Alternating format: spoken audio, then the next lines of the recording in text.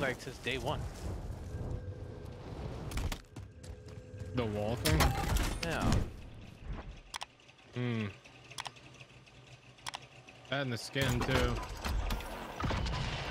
I'm coming over your way right now. What? What?